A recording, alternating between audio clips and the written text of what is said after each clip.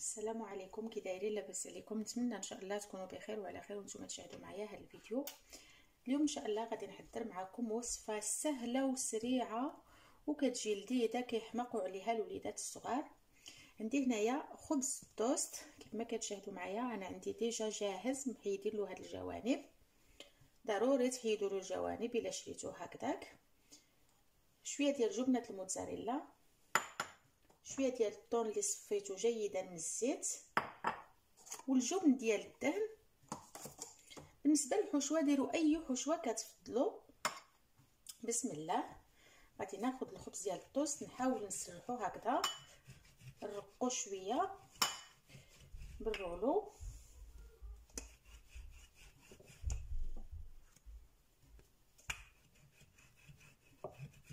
بسم الله. كناخذ شوية ديال الجبن ديال الدهن. كندهن به.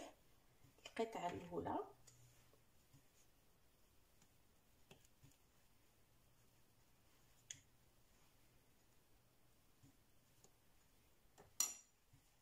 غندير شوية ديال الثوم في الوسط. ما كنوصلوش حتى الجوانب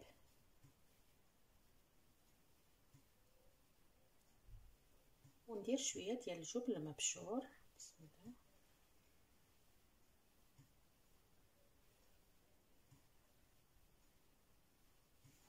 غادي ناخذ القطعة الثانية وكنديرها على القطعة الأولى.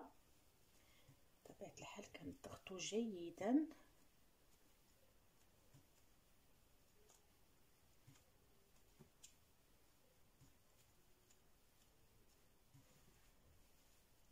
ضروري ما كنضغطو مزيان باش ما كتخرج لناش الحشوه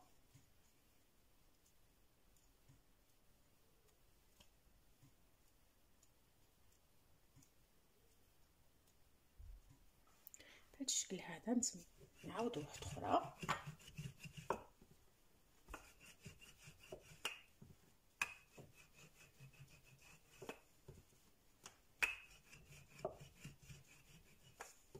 ندهنو القطعه الاولى بالجبن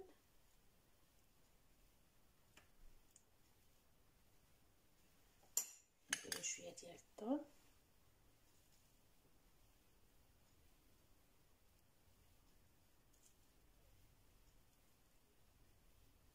ما كنوصلوش حتى للجوانب كنخليو فين نسدو.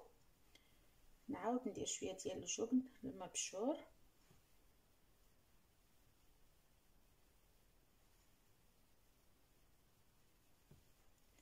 وكنسد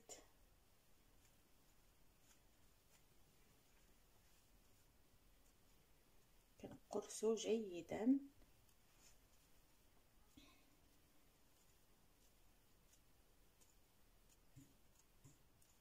بهذا الشكل هذا كما كتشاهدوا معايا. وكنستمر بنفس الطريقة. بعد ما ساليت الكمية كاملة خديت هنايا جوج ديال البيضات وعندي لا شابلوغ اولا الخبز المحمص. وهنايا واحد المقله درت فيها الزيت الكافي اللي غادي نقليه فيه. بسم الله.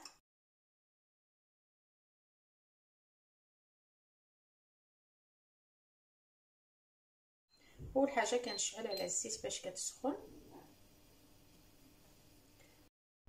بسم الله كناخذ التوست كندوزو في البيض.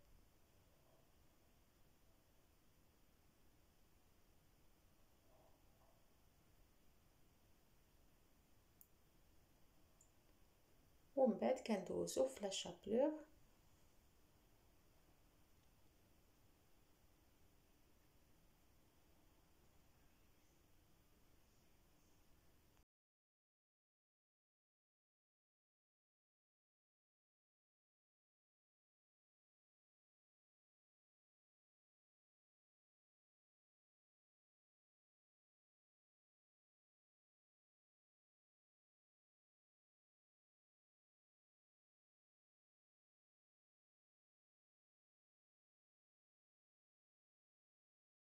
شابلور بعد ما سخنت ليا الزيت غادي نبداو نقليو بسم الله.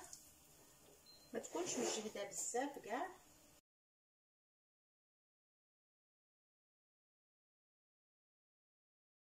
كنستنى عليهم يطيبوا من التحت ومن بعد نقلبهم للجهة الأخرى وكنستمر بنفس الطريقة حتى نكمل الكميه كاملة.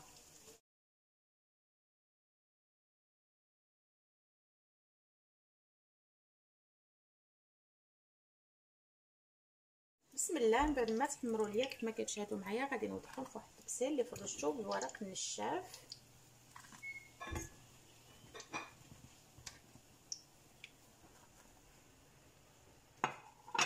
نستمر بنفس الطريقة. حتى كنكمل الكمية كاملة. وهذا هو الشكل النهائي ديال الطوست اللي حضرت معكم هذا النهار. كما كتشاهدوا معايا كيجيو غزالين لا في الشكل ولا في المذاق كيحماقوا عليهم الوليدات الصغار. كما كتشاهدوا معايا كيجيو محمرين ورائعين ومقرمشين بسم الله.